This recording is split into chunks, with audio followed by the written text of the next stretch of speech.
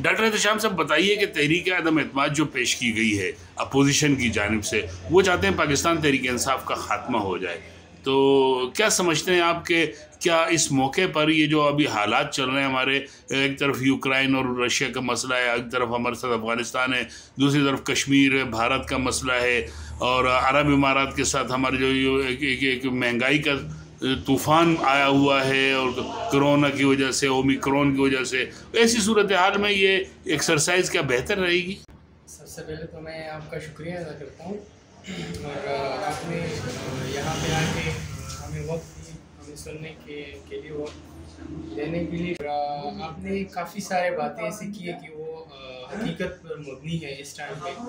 और जो हो रहा है यहाँ पे पोलिटिकल लिहाज से तो मेरे ख्याल में ये इस टाइम ये इस वक्त नहीं होना चाहिए, क्योंकि एक साइड पे रशियन और यूक्रेन की लड़ाई हो रही है। दूसरी साइड पे हमारे पड़ोस मुल्क में अफ़गानिस्तान में जो हो रहा है, वो भी आपके सामने और थर्ड नंबर पे सबसे जो मुश्किल हमारे मुल्क के लिए ये वक्त है, वो कोरोना के क्राइसिस का है। और आगे जो महँगाई और पूरी दुनिया में बढ़ रही है, पेट्रोल की और अदरवाइज़ हर चीज़ महँगी हो रही है। तो इस टाइम मतलब ये टाइमिंग ठीक नहीं है, जो अपोजिशन इस वक्त कर रही है। और इमरान खान जो है ना, वो क्या, ये अमल बेहतर है? मतलब ये जो अदम अतमाद की तहरीक है, उसको वो अवामी आवाज़ करार दे रहे हैं कि भाई महँगाई हो गई है, हर आदमी परेशान है, बेरोज़गारी है, पाकिस्तान तरीके इंसाफ, की हुकूमत जो है नाकाम है, लिहाजा इनको सबकदोश हो जाना चाहिए। आप एक तालीम याफ्ता नौजवान हैं, डॉक्टर हैं और आपका जो है ना एक पब्लिक डीलिंग है, लोगों से मिलना जुलना है, आपकी क्या सोच है? मेरे ख्याल में महँगाई तो हर जगह पे मतलब पूरी दुनिया में महँगाई है। और यहाँ पे भी ये नहीं है कि लोग परेशान नहीं है, बिल्कुल महँगाई से लोग परेशान हैं।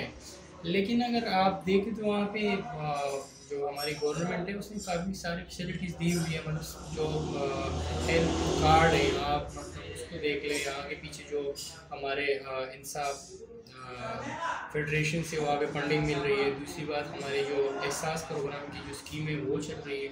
तो मेरे ख्याल में आवाम को रिलीफ भी मिल रहा है साथ साथ इस क्राइसिस में। मौजूदा जो हुकूमत है पाकिस्तान तहरीक इंसाफ, इसके इकदाम का तो आपने ज़िक्र किया। इसका मकसद तो ये हो गया, ये बेहतर हुकूमत है। क्योंकि अगर इसने रिलीफ दिया है डॉक्टर्स भी खुश हैं तलबा भी खुश हैं। मैंने आपसे अर्ज़ किया कि क्या ऐसे मौके पर अदम अतमाद की तहरीक जो है वो सही है? दूसरी बात यह है कि क्या आप समझते हैं कि इमरान खान की हुकूमत नहीं होनी चाहिए? आ, मेरे ख्याल में इस वक्त अगर हमें ज़रूरत है तो सिर्फ़ वो इमरान खान ही है जो हमारे मतलब हमारे मुल्क के लिए वो बेहतर सोच रखता है। दूसरी बात ये कि उसकी जो पॉलिसीज़ हैं वो ये नहीं है कि वो गलत है। मतलब वो थोड़ा सा टाइम तो लेगा।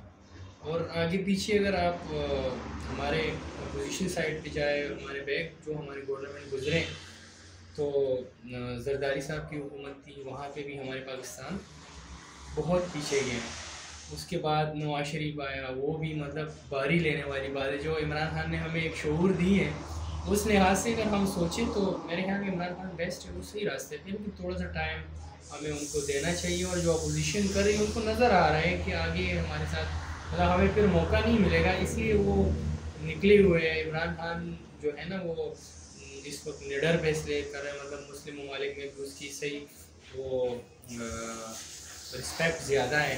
दूसरी बात ये कि इमरान खान जो हुकूमत है ना वो सत्तर साल का जो ये हुकूमतें गुजरी है तीन तीन साल की बारी पाँच पाँच साल की बारी लेकिन वो कभी भी तीन साल या पाँच साल में ठीक नहीं होगा वो थोड़ा सा टाइम लेगा। और आ, मेरे ख्याल में अदम अतमाद कभी भी कामयाब नहीं होगा क्योंकि इमरान खान एक सच्चा और ईमानदार लीडर है और आ, हर सतह पे उनको वजीराई मिल रही है। और आ, मेरा तो यही पैगाम है जो डॉक्टर में इमरान खान सपोर्ट करूँगा और इन वो हमें जब भी कॉल करेंगे तो एज ए डॉक्टर मैं उसके जलसे में भी जाऊँगा और उनको हमेशा सपोर्ट भी करूँगा।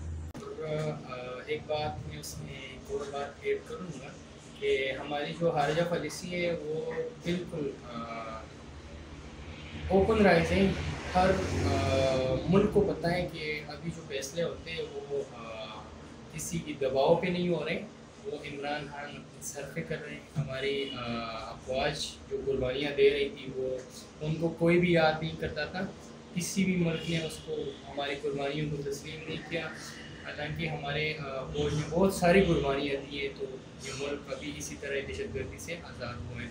तो इमरान खान एक निडर लीडर हैं और हम उनको हमेशा सपोर्ट करेंगे। मैं उनका सिपाही हूँ और जब भी वो कॉल करें डी चौक पे हो, जिधर भी हो इन हम उनके कॉल पे लपेंगे